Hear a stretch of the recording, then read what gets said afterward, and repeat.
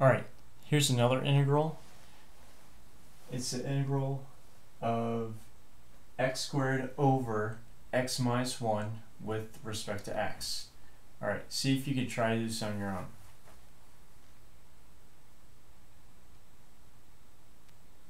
Alright, should notice a couple things about it. The degree of the one in the numerator is higher than the one in the denominator. That's going to be very important because that's going to tell you, okay, what kind of trick am I going to use with this integral so that I can integrate it? If it was, if this was greater than this, you would have to use partial fractions. And so, since it's not, since this is greater, you're actually going to be using long division. You can use synthetic division if you want, if you remember that.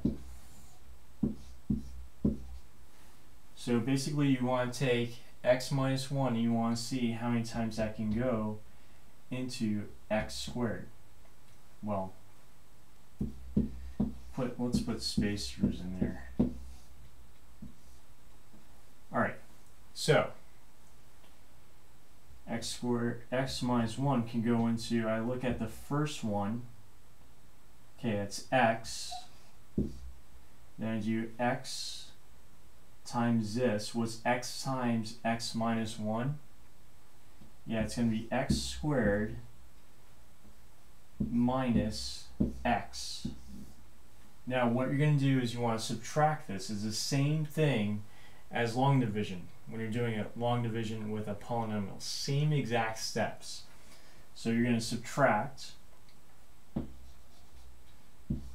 So that's going to change the sign of this, and it's going to change the sign of this. I have a habit of putting my signs in circles.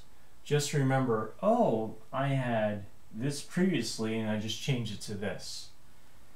So this cancels out. 0x plus x is just x. Bring down the 0. What times x minus 1 will give me the x? Right, positive 1.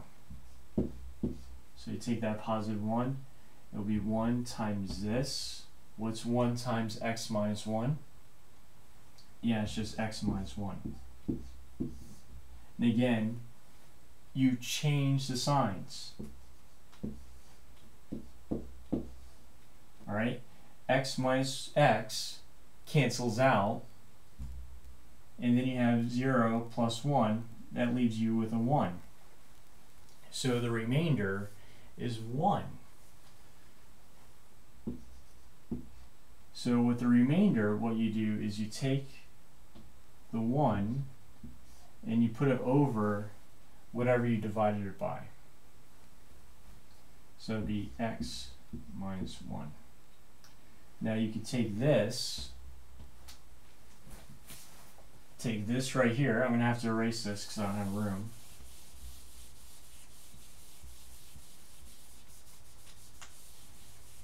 You can take this simple thing, and let me center it so it's easier to see.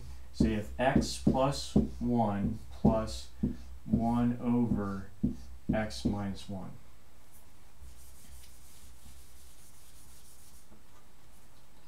You're going to take the integral of that with respect to x. So, you take the integral of this, the x, you take the integral of 1, and you take the integral of this. The integral of x, right, use the power rule, so this is x to the first. You increase this by 1, and you put it over whatever that number is. So it'll be x squared over 2. You do the same thing with the 1. The 1, it's implied it's x to the 0. So you have x to the 0, you add 1 to that, that's x over 1, which would just make it x, plus there you have dx over x, right? This function right here, when you take the derivative, it's just dx. So that means it's going to be natural log. So it's the natural log of x minus 1, absolute value, plus the constant of integration. And that's it.